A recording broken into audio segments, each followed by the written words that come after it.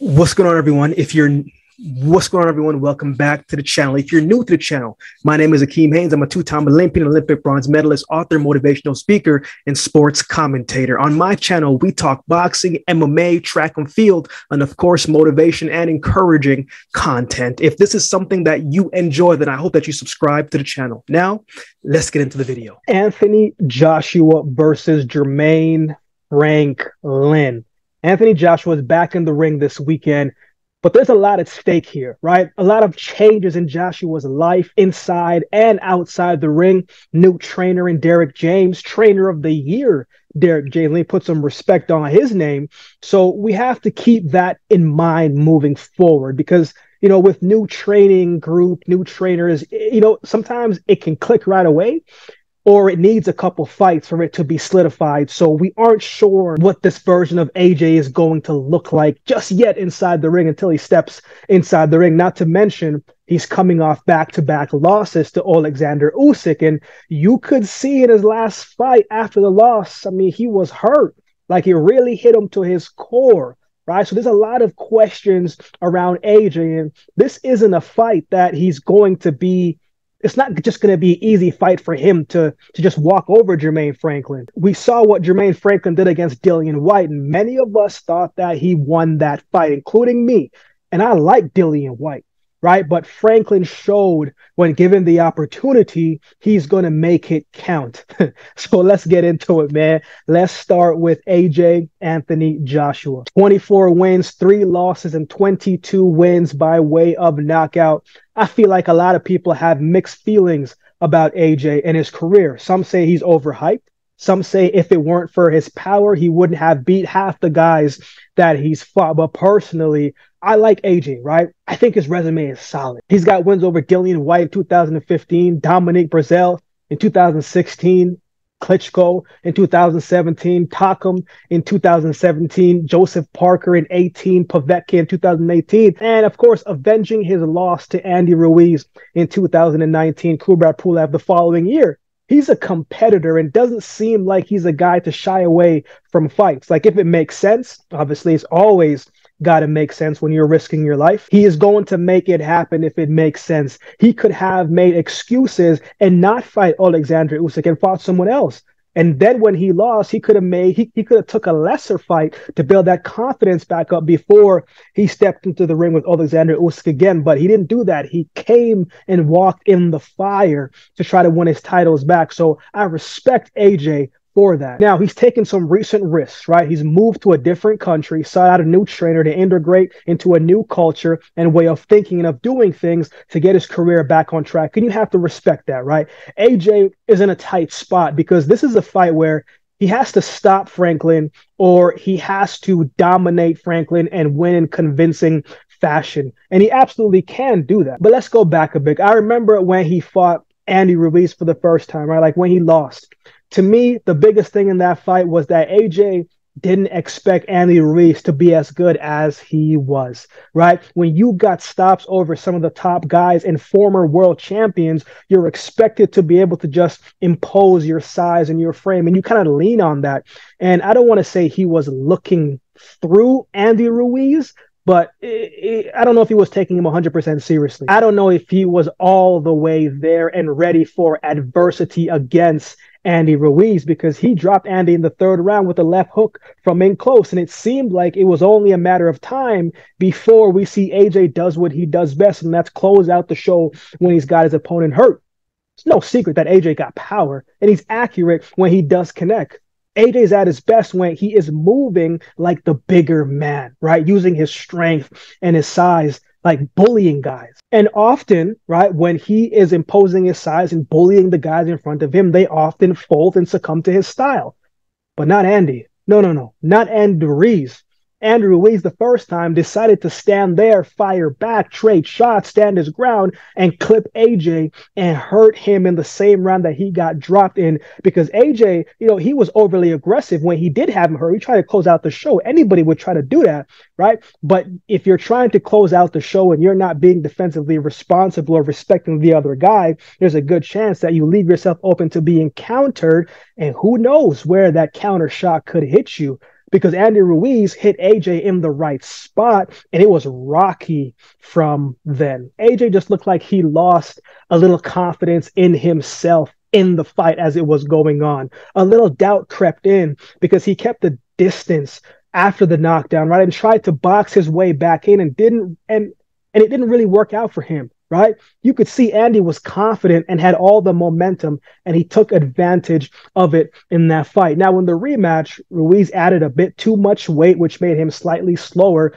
and AJ was more composed, prepared for the fight. He didn't look past Andy Ruiz. He stayed present in the moment, but he was extremely focus. He was dialed in. And that's how you want to see a fighter respond after a loss. I'm about to make my point just here. Let's keep going. So he goes to fight Alexander Usyk, a guy who moves much better than Andy Ruiz, right? Usyk has great footwork. He's accurate. He can be frustrating to fight because he moves so well in the ring, right? From the head movement to the foot movement, it, it's just excellent across the board but he does that for 12 rounds. You get guys who might do that for the first half of the fight and fade on the second half. You may have guys who have to warm up into the fight, but Usyk does that for 12 rounds from start to finish. He's an excellent, he always comes in in excellent shape. And sometimes AJ doesn't always have a gauge with this conditioning very well, but at the same time, when you have power like AJ, you always have, as they say, a puncher's chance. And in both fights against Alexander Usyk, the outcome was similar. It looked like it was just a continuous, consistent fight from round one to 24. The second fight picked up from where the first fight finished. But AJ did better in the second fight. He was much more aggressive and landed some good shots on Usyk, but ultimately lost the fight. Stylistically, Usyk is just not a good opponent for AJ, but he was better. He was more focused. He was more dialed in. He was better coming off a loss. AJ tends to slow down a little bit, but Usyk doesn't. AJ doesn't have the best footwork, right? AJ doesn't always cut off the ring as well as we know that he can, right? He couldn't slow down Usyk, that moving target.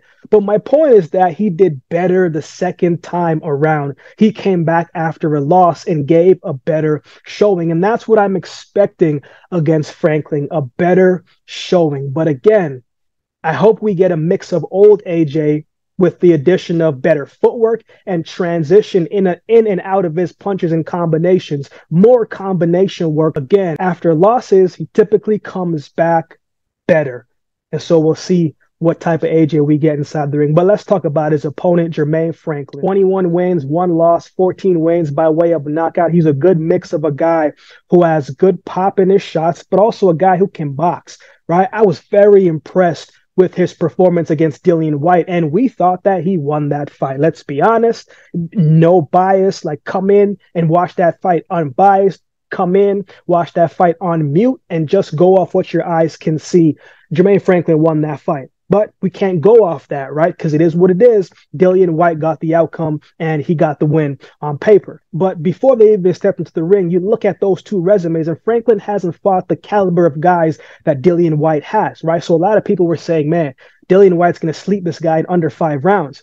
But that was far from the case, as we saw, right? Franklin was confident from the jump in that fight. He didn't force the fight. He took what was given to him and he stayed patient and didn't try to stay in the center of the ring where Dillian Whyte could tee off of him. He would jab and step, jab and step, quick counters, quick combinations to the body. Those are the type of things that frustrate guys who like to fight in from in close. Man, they call Dillian Whyte the body snatcher for a reason. And to hit the body, you got to be in from close. And I thought Jermaine Franklin did a great job of keeping it a distance and not allowing Dillian Whyte to just have his way and impose his frame. Sometimes you have guys who go into other fighters' backyards and they get intimidated. But Franklin, he didn't back down. The noise didn't get to him. The atmosphere didn't get to him. He just fought his fight. He was extremely disciplined and he was consistent throughout the fight. He came in in great shape, right? His conditioning didn't slow down. I thought he was consistent from round one to 12 he just looked very composed and seized the opportunity because if he didn't seize the opportunity or didn't put up a good showing,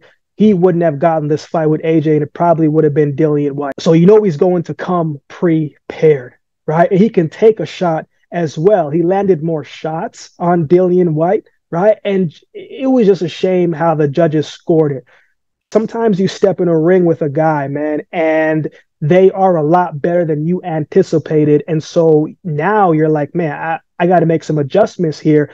And Dillian Whyte, I don't know how much years he has left, but he is not Dillian. He's not the Dillian Whyte of old. So I thought the adjustments that he was trying to make, it was a lot tougher for him because his body couldn't really put him in those same positions as he once could. But again, it goes to show, man, just because you may not have heard of someone from a worldly standpoint does not mean that they can't come up and rise to the occasion. But again, Dillian Whyte was at home and he had the hometown crowd, and that's really in my opinion, what got him the win. And again, I like Dillian Whyte, but I just thought they should have went the other way with the decision in that fight. But I don't think AJ will take Jermaine Franklin lightly, especially after Franklin's last fight, right? Because if he does go into that it's, it's going to be a longer night than he would like it to. And, and Franklin can outbox and frustrate AJ.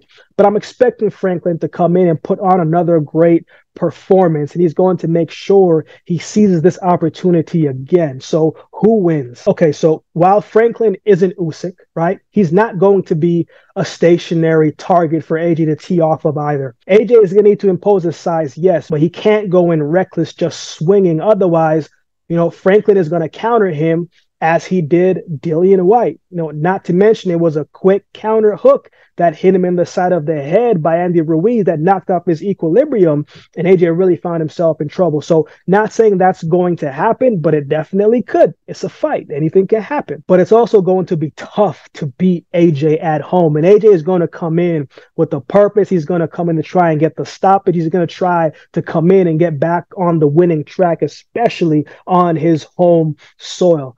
I'm not sure how he's going to win though, right? Because I'm not sure what, what he's going to look like. Stoppage with AJ is always a good outcome, right? That's always a that's always a pretty safe bet. But with a new trainer, it could take a few rounds for things to really click for him to find his groove. Maybe it could happen round one, or it could happen round seven, eight, nine right? And we saw the resilience that Jermaine Franklin has. So decision wouldn't be a bad one either right? So I don't know how it is going to play out, but I do have AJ winning this fight. I'm hoping he can get the stoppage, but I have a feeling as well too this one could go 12 rounds, but I have AJ winning this fight.